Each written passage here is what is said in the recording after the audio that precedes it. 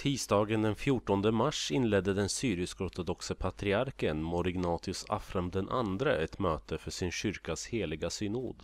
Man samlades för att diskutera hur man skulle lösa den situation som har uppstått med de sex biskoparna Matarohum, Severius Melkomurad, Augin Kaplan, Bartolomus Nathaniel, Malatius Melke och Hasail Saume.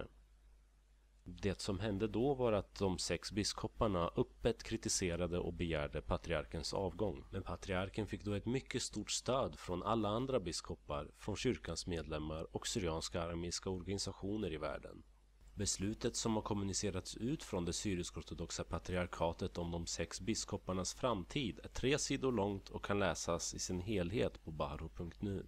Sammanfattningsvis så kan man läsa att den heliga synoden har bestämt att stänga av biskoparna Matta Roham och Hasail Saumi från alla prästerliga tjänster. Detta medan de resterande fyra biskoparna har fram till den 30 april att underteckna en skriftlig ursäkt som synoden i sådant fall kommer att acceptera. Avstår de däremot från att underteckna det nämnda brevet så ges patriarken full befogenhet att vidta de åtgärder som han finner lämpligast kring deras framtid.